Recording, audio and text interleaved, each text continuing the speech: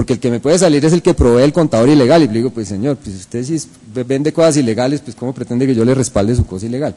Distinto es en estos temas en los que sí puede haber un usuario que tenga el derecho a usar ese contenido. Entonces no son cosas, no son cosas equiparables. Sí estamos hablando de servicios públicos, pero no son cosas equiparables. Y ya me desordené, pero creo que no voy a perder la línea. Otro tema del artículo. Habla de eh, la posibilidad de, de, bajada de contenidos. Eh, un segundo, lo reviso aquí, ya, ya les digo. Ah, el contrato, no, ya. Hay, un cambio, hay dos cambios importantes en el procedimiento. Uno, y, en ese, digamos, felicito la modificación, la eliminación o supresión de lo que denominaban conocimiento efectivo, que era un tema que, vuelvo y digo, en, condición de ISP nos generaba dudas de lo que leía hasta ahora no lo vi, creo que lo suprimen y lo reemplazan por otro requisito que me parece un poco más, más manejable, digamos, del lado del que provee el acceso a Internet.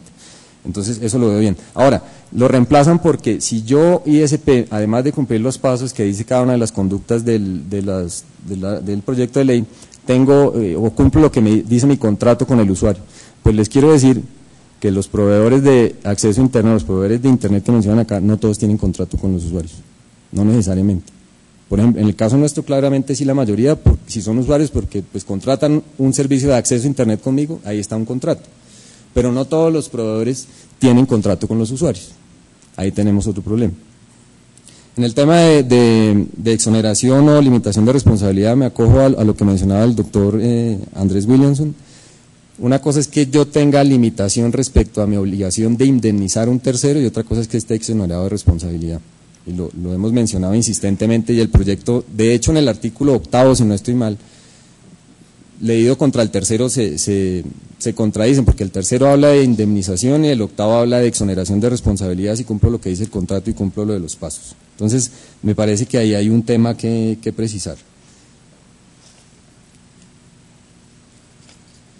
Adicionalmente, nosotros hicimos una propuesta en, en el, el proyecto que pasamos y es que sí probablemente hay muchos contenidos que en Internet deban estar por fuera del ámbito de, este, de, esta, de estas reglas de bajada y subida de contenidos. Y lo mencionaban algunos de, los intervinientes en foros anteriores, por ejemplo, los contenidos educativos.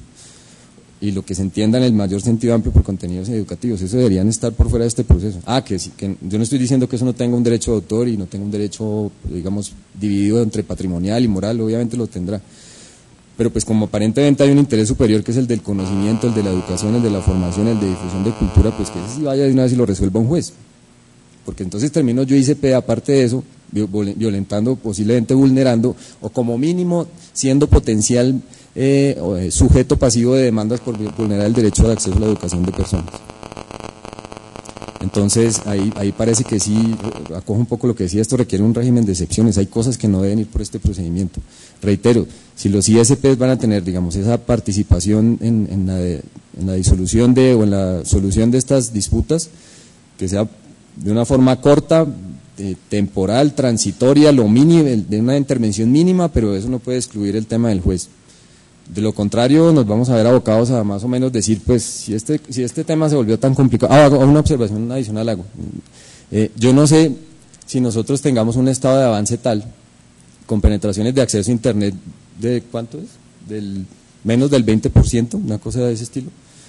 Necesitamos esta ley tan fuerte cuando apenas el 20 o el menos del 20% de la población en Colombia accede a Internet.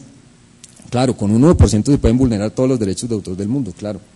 Pero no sé si la ley necesariamente responde a lo que esté viviendo el país, vuelvo y digo, generando un procedimiento de esta índole que es propio de sociedades en donde el tema del acceso a Internet, de la difusión de contenidos, del acceso de los usuarios de contenidos, pues tiene un nivel muchísimo más alto y donde pues hay unos mayores desarrollos. Creo que con eso no, no me falta ningún punto y, termino. Solo una nota adicional, pues quedé un poco desconcertado con, con venir y ya tener una ponencia armada, sabemos que, que puede ser objeto de cambios, pero sí insistiría y creo que recojo ahí la, la, intención de, muchos es que si se presenta así, pues que muchos de estos comentarios para los siguientes debates sean tenidos en cuenta, porque el, el, proyecto pues incluso de un lado y otro requiere ajustes. Si usted toma los argumentos de uno y la otro lado de la mesa requiere ajustes. Gracias. Ok, muchas gracias. Y para eso precisamente es esta reunión, para poder concertar con ustedes y en el curso de la discusión poder también presentar otras proposiciones que acojan las propuestas que ustedes muy amablemente nos, están haciendo ver. Eh, seguimos entonces con Gustavo Palacio, director ejecutivo de APDIF.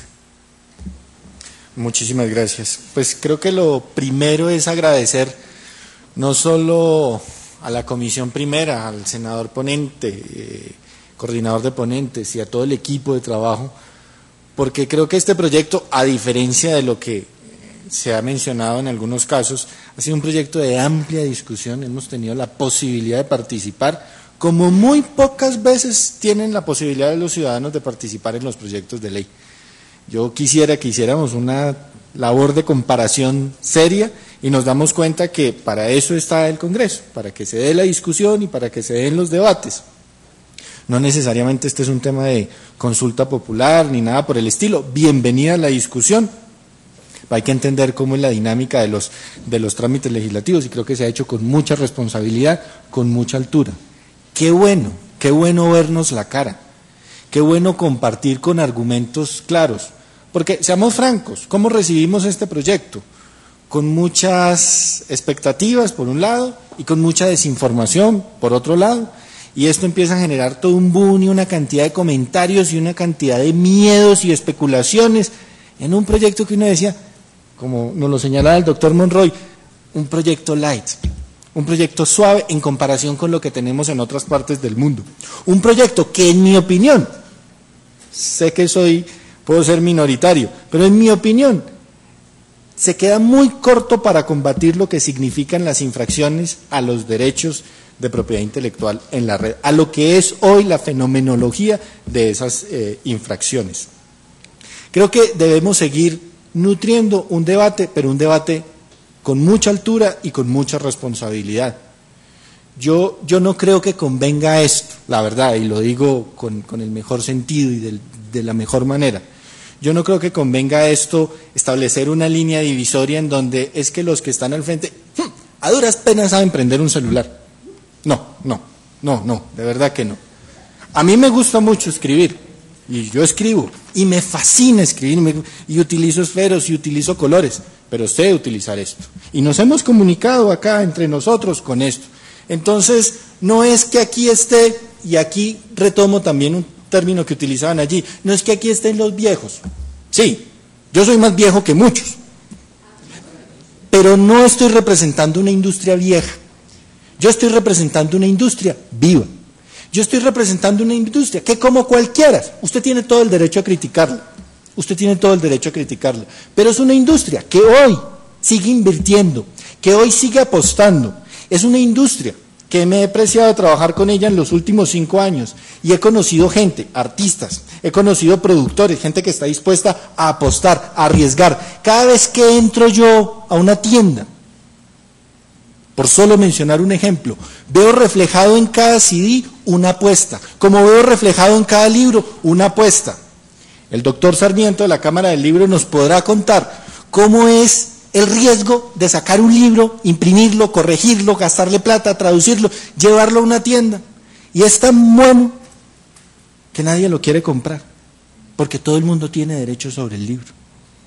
Es tan bueno que al día siguiente está en internet y todo el mundo lo tiene. O es tan malo que definitivamente perdimos toda la plata, pero corrimos el riesgo y hay alguien dispuesto a arriesgar. Que ustedes, muchos, no compartan el modelo, no compartan el pensamiento a veces me parece a mí que sin demasiada información, porque se habla mucho es que las, las compañías no sé qué, y nunca veo a alguien que tenga las cifras, nunca veo a alguien que conozca cómo son los números del negocio, porque es muy fácil salir a la calle y decir, es que eso es muy caro. ¿Usted sabe qué hay detrás de eso? ¿Usted sabe qué significó llegar allá? O sea, tenemos los cifras, entonces uno dice, yo tengo otro modelo, ensáyelo, ensáyelo. Usted tiene otro modelo, ensáyelo. Viva usted con su modelo. Déjeme a mí utilizar mi modelo. Déjeme a mí generar mi producto y ver las condiciones en las cuales yo voy a comercializar, yo voy a ponerle a la gente ese producto. Porque otra cosa que he visto en este debate es que hemos utilizado, y todos, parte y parte, utilizamos ejemplos. Y un profesor me enseñaba a mí que el ejemplo envilece. Con los ejemplos cualquier cosa se vuelve una realidad. Aquí que tanto hemos hablado, que el juez, que sí, que sí debe estar